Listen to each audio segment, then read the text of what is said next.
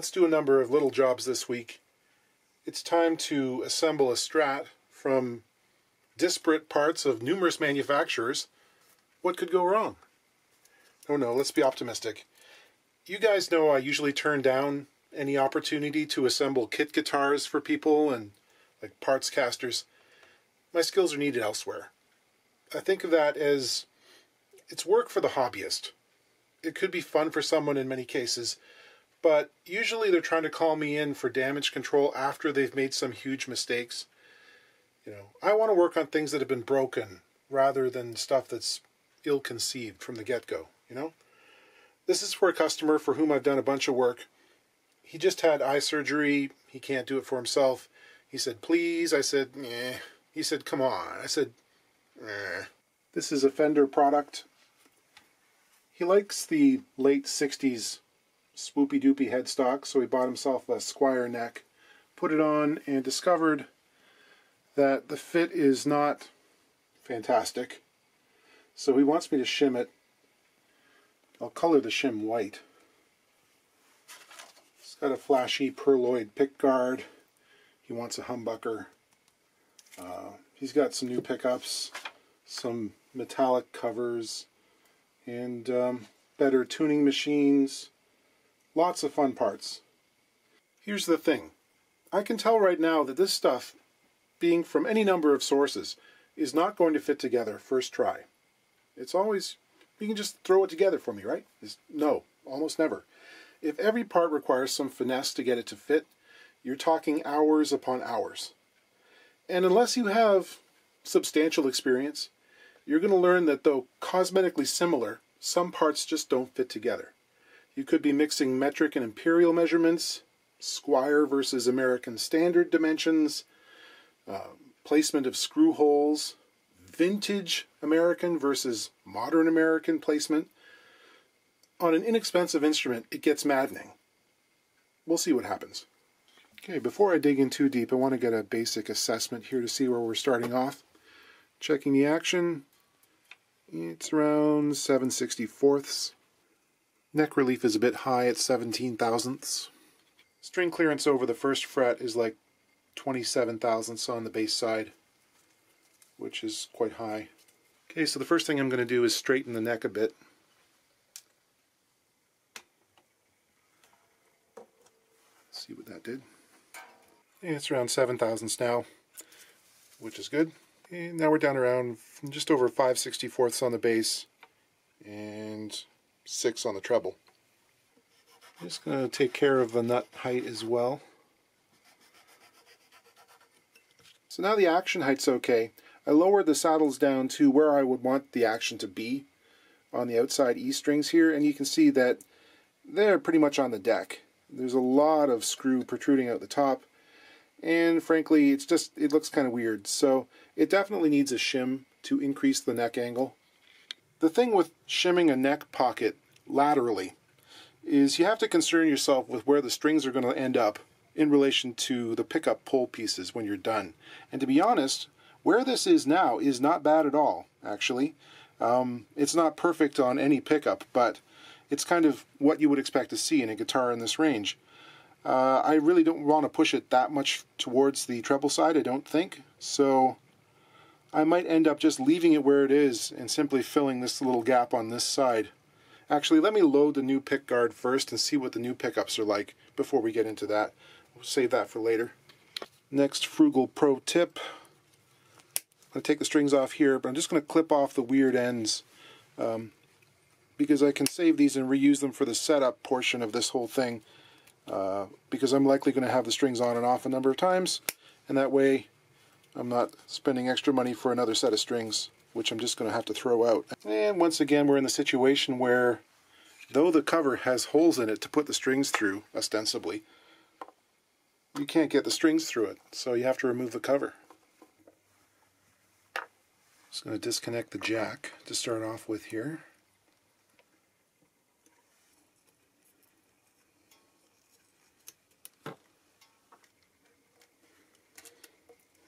This has a fully shielded cavity. That's interesting. The grounding wire to the trem has been soldered or soldered directly to the claw and through the end of the spring, which is probably not the best idea, I don't think.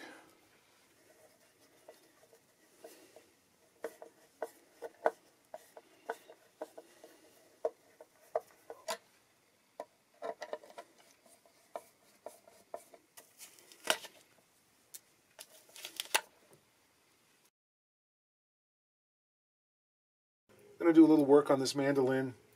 This is a Trinity College model from the good people at the Saga Musical Instrument Corporation, a venerable firm that makes millions of instruments. Um, this has got a couple of little issues, and it's a lefty, as you can see. I must remember to put this strap back on before restringing it, because it's one of these where it would be really annoying if I didn't. This is kind of an interesting design. It's not very Gibson-like at all. The top has a curve to it, which I don't know whether that was carved or whether it was radiused by pressing into a form of some kind. The sides don't have the undulation you would normally see if this was, you know, sanded in a radius dish. Um, pretty robust top. And the back is flat. And when I say flat, I mean really flat.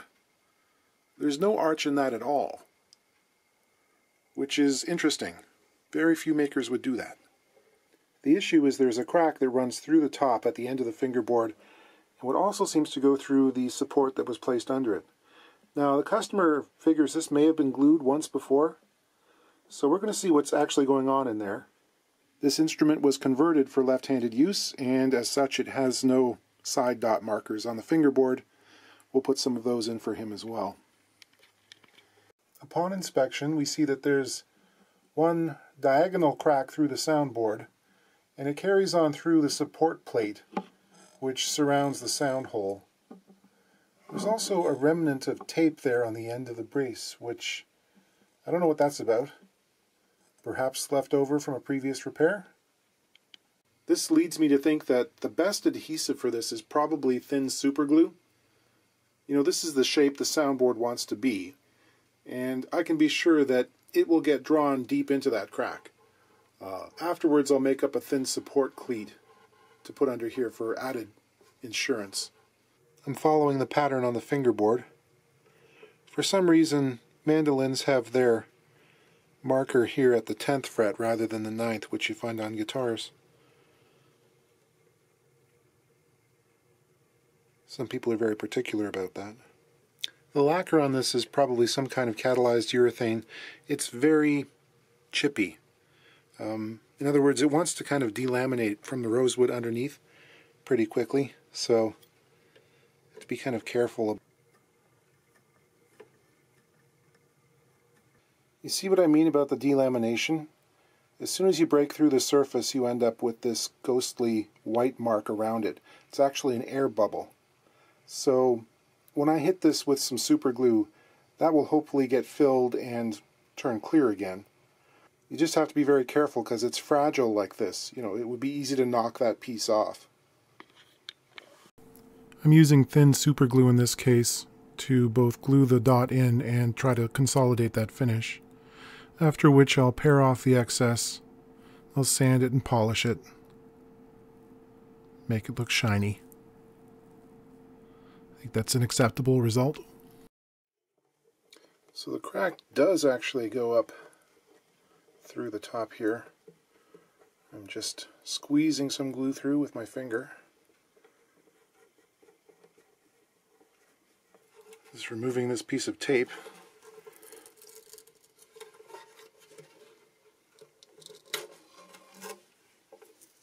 We've got this tipped in such a way that the glue is not going to run all over the surface but capillary action will draw it down throughout the crack. The sad thing is it's going to become more apparent as it's wet with the glue but maybe we can sand that a bit as well, get some dust in there and take care of that dark line. I've planed some material for a little cleat I'll just scribe around the outline there and cut it to shape, glued it in place. And here I'm just um, adding some shellac to the end of the fingerboard here to seal up the work after sanding. I didn't forget. What a great tailpiece. If anyone knows where to get one of these to buy them commercially, let me know because I want one. You know, sometimes I can fake it on mandolin, but with it upside down, get ready for some atonal droning.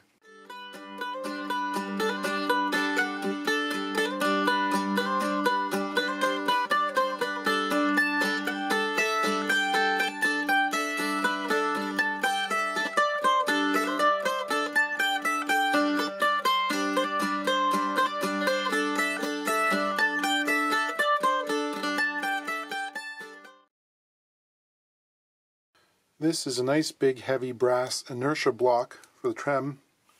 To get it on there, I'm probably going to have to remove all the saddles to access the screws. Yeah, probably.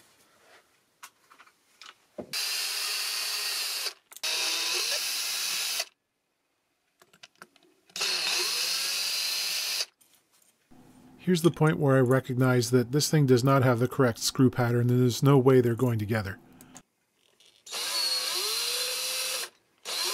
Okay, I've picked out two likely candidates for the neck and the middle position pickups, um, checking to make sure that the um, fine copper leads are still intact. I notice on both of them that they've got uh, wires, insulation which is burned through by someone else's soldering iron. Multimeter over to the ohm scale 20k ohms. Attach one probe to each lead. The first one is coming up 6.92, 6.96. So they're a good match. I'll also do the same to the humbucker, which I note is pretty light and it just has one hot lead. This is vintage Gibson style. So there's not going to be a whole lot of customizing options in terms of switching. Just going to get kind of standard strat switching on this. This is a hot pickup. It's uh, 15.45. Next thing, the pickup does not fit inside this route.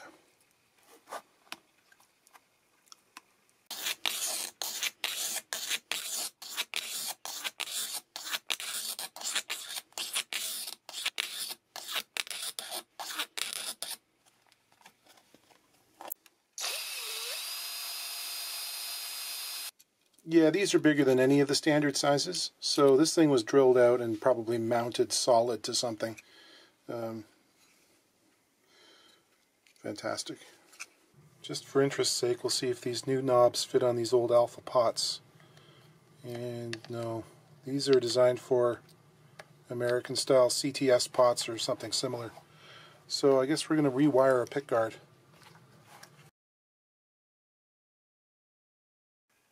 This is the bridge from a 1967 Fender Coronado II bass, which is a pretty groovy instrument. It's not here. I only have the bridge. I'm sorry. This thing used little plastic inserts for the saddles, and over time these have degenerated into something that is probably best described as black licorice. It's become soft and squidgy it oozes around the uh, string when it's at tension, which can't be great for the tone. But also it's been compressed or worn enough that the strings are now sitting too low and they're very close to the bridge pickup. I've been tasked with trying to make new inserts for it, so I picked up some of these Tusk Graphtec 2 black nuts here. It's an appropriate color, it should do well. I wanted the extra large rectangular blanks with you know, no slotting or anything, but nobody seems to have them in stock at the moment, so I'm going to work with these. I should just be able to get a big enough blank out of them, I think. So I've taken some measurements, and now I have to cut and sand this stuff down to some pretty exacting tolerances, because these are a pretty snug fit in their little encapsulating cups.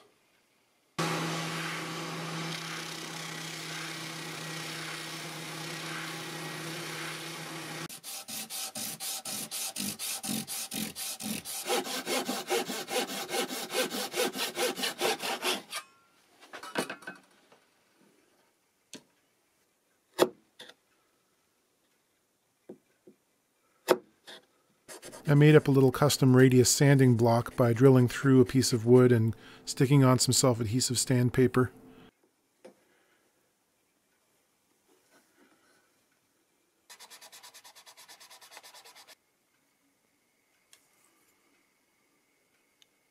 I'm using gauge nut files to do this. Start off with a thin one to mark the position and then I can use the thicker ones to get the correct half diameter. With these being more lightly slotted and also proud of the top surface by about a millimeter, unlike the original, there should be plenty of room for adjustment. That's all done. Let's go back to the Strat.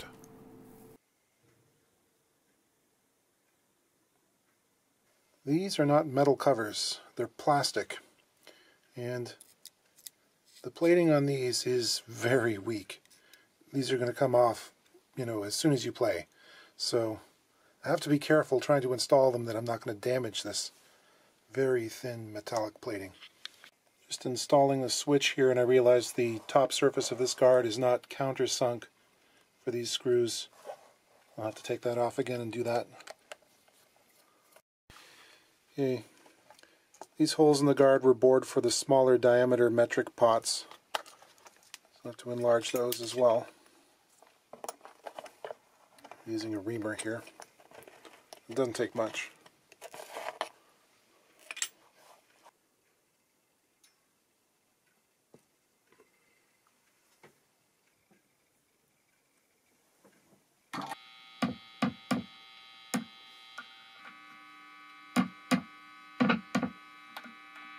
I think I mentioned last week on that Telecaster the idea of just simply putting a new guard on.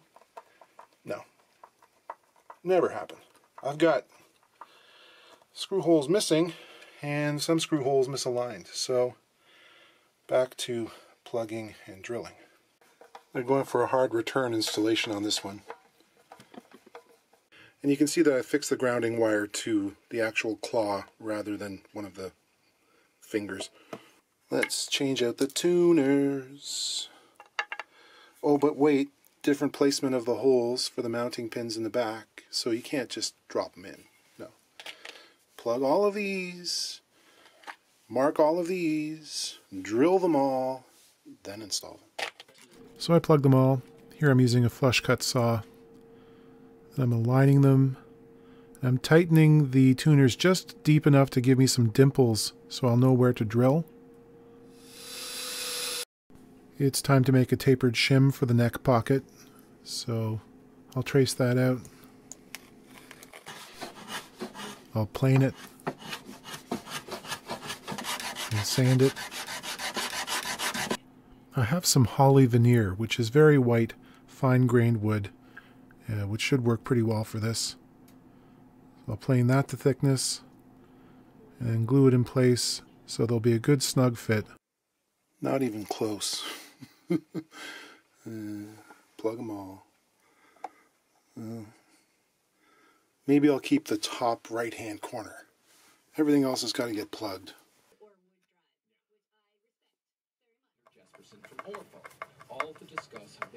Okay, now I'm switching around tuners.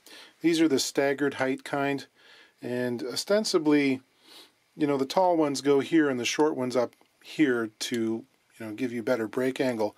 Of course, this model on this headstock, there is not enough clearance to actually get an E or an A string underneath the hole in the uh, the shaft there. So because we have two sets of string trees, it really doesn't matter. I'm swapping the taller tuners for down here. Just because, oh I should show you that. So you put your 46 gauge string through there. Um, how does it go underneath itself? Ain't gonna happen. With the shim in the neck pocket now, the saddles are still bottomed out but now the strings are resting right on top of the frets, which is pretty much where you want it to be. Okay, enough for tonight. It's 1 in the morning. I want to get this video edited, so I'm going to be up to like 3.30. There are still a couple things to do on this. I need to put a drop of paint on that shim, and the middle pickup bass side screw is not responding to my requests. So I'll have to open that up and find that it's stripped out and figure out what I'm going to do to fix that but it's playable. Like I said, a lot of work, This initially was framed as, I think it needs some neck work and a shim. And I've essentially now rebuilt the entire guitar. Parts casters. Not worth it. I mean, I can't blame this player. He doesn't know. You go online, it seems like plug and play. You pick the colors you want, put it all together, it's just like Lego. But it really isn't. These pickups here have different string spacing from the previous ones. They're wider. I, I actually think it's the 50s vintage, mm, what was it, 2 and 3 sixteenths bridge spacing. Eh, all the chrome is sparkly. It makes a statement. So I'll leave it up to you guys in the comment section. We'll do a poll. Having seen me put this thing together and realize that 20 minutes on screen is actually 5 hours plus time and then extra for the glue to dry, how much do you think this amount of fooling around is worth? What should someone pay to have a parts caster assembled in this manner?